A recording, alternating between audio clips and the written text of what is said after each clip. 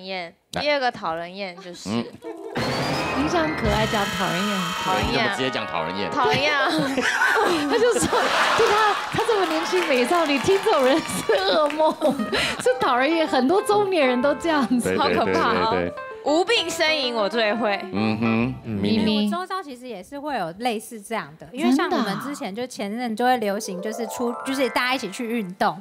然后就是大家就是姐妹呢，就报名参加什么皮拉提斯对，那就相约，因为就是大家就家长们可能就会有可能大概十个，因为老有时候老师开课他会有限人数嘛，然后我们大家就哎就是揪一揪十位这样，因为那个大家也很抢，那就请老师来那个上课，然后但是其中有一个朋友啊，他其实就是。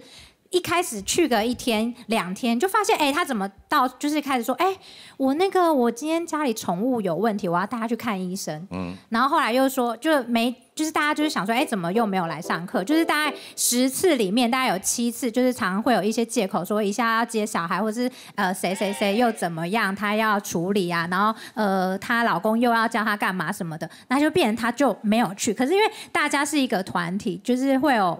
很多就是有些人就会有开始讲说，哎、这样子他没来，我们就要帮他 share 他的那个课费用，因为大家这是讲好的，因为可能每我们是三个月一季嘛，那可能大家就是都是学费可能是比较一次就可能一万块两万块这样子，那大家就会觉得说这样子都要 cover 他的那个费用，可是又有很多其他的人家长想要进来一起上这个课，但是真的后来有一次那主揪人就真的觉得说你真的来的频率太少了，而且真的就是很多人都要 cover 你的费用，觉得很不划算。当初就是因为大家可以 share，然后觉得这样子运动起来大家比较放松，没有压力这样，然后大家就直接说，哎，那你干脆就不要来了，就大家就主揪人就直接很生气，就把他就是踢出去。如如果真的临时有事，真的无法出席，可是人家已经算你一个人头，我我就会说，呃，这个我的钱还是份我还是先给你。那如果你找到人替补的话，那你再还我没有关系，没有也没有关系，我就去，我还是出这样。还有一种更没礼貌的，就是说啊，沈哥，那个下礼拜六来你们家玩，好，我就告诉我老婆，那再怎么样，你总是也一直要张罗东张罗西啊，煮点菜干嘛的嘛。他临时跟你说不来就不来，然后你问他为什么没来啊？那个应该没关系吧，因为你就在你家，我不来，你也是在你家。这种人很奇怪耶，就就这个人很没礼貌，这种人我老婆真气炸，我老婆告诉我说，下次不要再约他了。对呀，忙东忙对，西下，次他要来也也就不给他来谢谢拒绝往来。对呀、我老婆在那边洗水果，然后这边弄水饺，搞东搞西的。可是他这样讲也没错啊，但是他的用词不好。他如果是委婉的讲说，很抱歉，那天可能我真的气的是他连借口都不编。对他起码说他，起码说他射物腺肥大了，我都我都信。你是案子案子是那他就？他就说他不来。再怎么样也应该送个什么蛋糕啊、花啊什么。啊谢谢你。啊，这种失礼的人哦，还真的到处都是，不分年龄的，不是只有小孩才会这样啊，老人也是就是会这样。一种很奇怪的白目海苔熊。，不信你问是是海苔熊，是不是很多人就是这样？这两哦种人呢、我们在心理学上都会有一个名词，说他是想要寻求注意 （call attention），就希望你注意我。他说：“哈，那这个注意是不好注意嘛？因为我就会讨厌你嘛。”大家不要一直以为关心就只有一种，讨厌也是一种关心。我讨厌你，我是不是正在看你？哦，他需要你的瞩目哦，。我讨厌你，也要关注你才会讨，厌、对。没错。所以还有一个更高深莫测，大家如果可以听懂，听懂；听不懂算。高深一点的，就是说我想要借由做这件事情，然后你们应该要很讨厌我嘛，对不对？对那如果你们没有讨厌我的话，那就表示你们也可以接受这样的我。是真爱。它是一个很复杂高阶的操作林香，你要注意听，因为我知道我刚刚超遇到一些人际的纠纷，对我最近有有些然后这个状况。我想要证明，就算我这么烂，你们还是离不开我，你们还是需要我。那他是要测试我们的底线的意思。对，是没错，就是测试嘛。哎，为什么别人都可以，别人都不行啊？别人说要去去谁谁家，然后哎说要去赵哥家，说去谁家，我都一定要到。我跟你讲，玉林哥家，我说要去，我可以不去。而且对有一种人，他们还会说这个是叫我在做我自己。对。我为什么不能做我自己？到处跟人家炫耀，你们知道吗？世界上只有玉林哥的家，我敢说不去就不去，所以你有没有发现他获得了一有什么了不起？对，就是除了那个水果啊、蛋糕更重要的东西 啊。我我有一对遇过一对情侣，那个男生是这一段的女朋友男生是我一个非常非常要好的朋友。那有一天他就是半夜打来，差不多十二点多快一点吧，他说怎么晚？他说兄弟出来喝，然后我就就出去了嘛。他就说啊，他就啊一坐下来就一。就是两手那个台啤，那么一直喝一直喝。他说 Lina Lina，我说哈，你到底是为什么要一直喝？他说啊，就我女朋友啊，我要花时间照顾她。我就说啊，你这个人女朋友不是要照顾的吗？啊，不然是怎样的？他说不是不是，他有点夸张。我说什么夸张？因为那一阵子呢，他女朋友刚好确诊，但他确诊之后呢，他时时刻刻都要我那个朋友送呃餐去给他。那这可以理解嘛？因为他要出去要买东西，这样会没有麻很麻烦。哎，结果这样子一送送了一年半呢，他就习惯。他确诊确蛮久的，然后后来才，而且他不是送去而已哦，鬼上身了。对，不不是送去而已哦，他送去之后还会跟他说帮我拿上来，嗯，帮我拿上来，然后帮我拿上来之后呢，还会说那你要帮我拿到桌上，筷子呢？那没有汤匙吗？我要怎么吃？啊，那女朋友也是有手有脚嘛？为什么要做这件事呢？他就是想测试看看，说你是不是可以这样爱我，你可不可以这样对我？然后时不时就会觉得啊，这里痛那里痛，而且那女朋友也是真的，她不是无病哦，她可能真的，她真的很真的有病。他认为他自己有病，她可能真的有病。我我们可能还没有检查出什么病啊，所以或许两位陈医师可以知道，她就是。我们常出去的时候呢，她其实很喜欢跟她男友腻在一起。那个女生，然后我们一群人可能有时候聊天，就会跟她男友一起聊天，然后哪边喝酒啊什么之类。然后那个女生就被晾在那里，所以她就她会突然昏倒，你知道吗？啊，是真的昏倒哦，摇，然后还是把自己送急诊那种哦。然后确定一下，不是演的昏倒，是真的昏倒，昏倒，就是把自己气到昏倒。去急诊，那一定意思就会就各种排检查嘛，然后。到最后就是不知道为什么啊，他也是真的昏倒，然后有时候可能就打营养针啊，有时候躺着休息呀。所以我觉得有些时候我们会说一个人无病呻吟，他不一定真的无病，而是他可能有一些身心的状况是他自己也不清楚的。然后他他可能在这个状况当中，他也他也自己很困扰，或者他就是要让别人困扰。其实我们在诊间也看过很多是这样子的一个状况，就很多的长辈的话，他就会为了要小朋友能够关注到他，他可能量到一个血压高，他就赶快跟家人讲说：“我血压高，我快要死，你赶快回来看我。”对，很多长辈，对很多这样子，因为你都不回来看我，那最主要的部分他是要有一个掌控。他可能自己本身已经失控，或者是自己够自卑，没办法掌控事情。他觉得唯一的方法，在他的人生里面，他可以掌控谁？如果你真的爱我的话，我就要能够掌控你的一个部分。那所以这个部分有点会有点像恐怖情人就出现，但很多的长辈是。我失去了关爱，所以我想办法用一种呃方法，让你觉得说我身体出了问题，你赶快来关心我。那有些并不是说他真正的昏倒，有些是比如说他换气过多的时候，你也会检查不过多，换气过多症候群也会昏倒，手麻没有力的一个状况。所以他只要做一件事，他只要憋气憋够久的话，他就会昏倒了。啊，对，有时候我们大便太呼吸的时候，他就会做这样子的动作。大便没有力，真的嘞，真的哦。哎呀，家里面还没人呢，然后我再醒过来的时候，已经过三个小时。你有这样子昏倒过吗？很用力，我急着要出门。这是真的但但大家不要，已经胡说了，真的假的？你问博成一只大便用力是不是也会昏倒？大便不只会昏倒以外，它还有可能会让你中风或脑出血。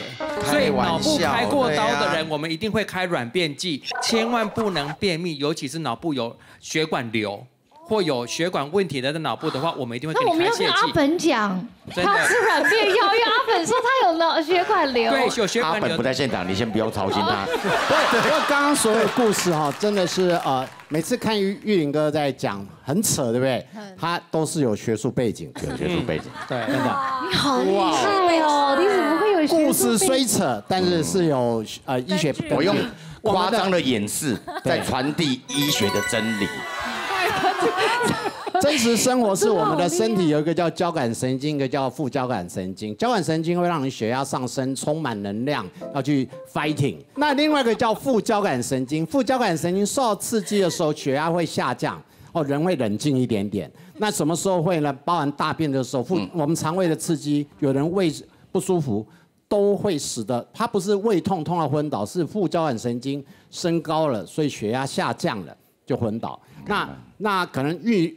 这个就很像以前金钟罩铁布衫有有个罩门一点，就那个玉林哥的罩门就是他的肛门，他的生态严重的时候，他血压就这样温倒。我的罩门就在肛门，对我金刚不坏，你从各个部位攻击我都打不倒我，只有一个东西，你如果这样哈，我就倒了。神功就不行了。所以我最怕被拜观音。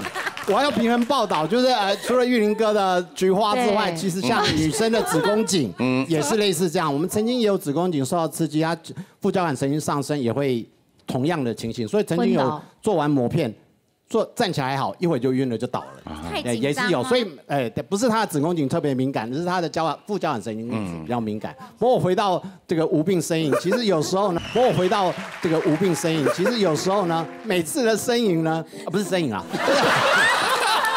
好，无病呻吟到底会不会有？其实有时候人家是认真的认为他有病，这叫环境因素的影响。我曾经有个病人进来说，哎，陈医师，我这边哈一直压，一直压就会痛。对，压就会痛。嗯，那你知道我们我们很多这种病人来，就是想求证他有没有病，我就只问一个问题：那你不压会不会痛？嗯，不压当然不会痛啊。那我的答案就是 不会痛那你可不可以不要压？我是真的讲，就觉得很扯，我真的是忍认真讲，你你可不可这个也是压？我分手了，我想了就难过，那你可以不要想啊。当然我们不会那么肤浅，因为毕竟挂号费还是要收。我就委婉说，那你为什么要一直压？陈医师，我跟你讲，我第一个想法是说，你是不是身边有人生病？陈医师，你怎么会知道？我一个好朋友，你看我才四十岁，我个好朋友最近卵巢癌过世了。